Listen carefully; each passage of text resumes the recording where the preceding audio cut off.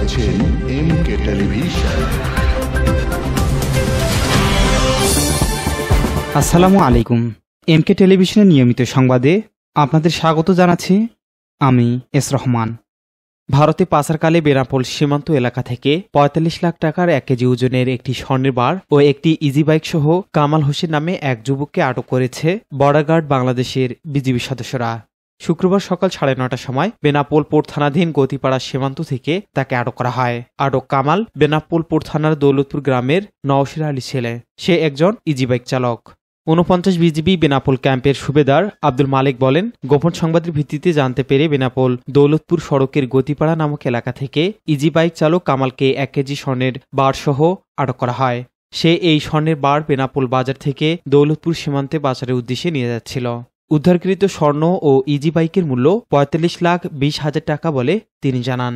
আটক আসামিকে স্বর্ণসহ বেনাপোলপুর থানায় হস্তান্তর করা হয়েছে বলে তিনি জানান।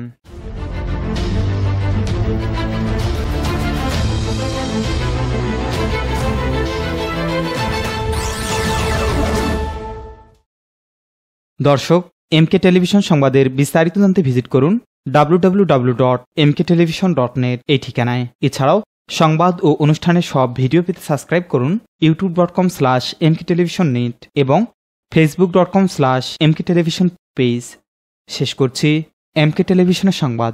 এতক্ষণ সাথে থাকার জন্য আপনাদের সবাইকে অনেক অনেক ধন্যবাদ।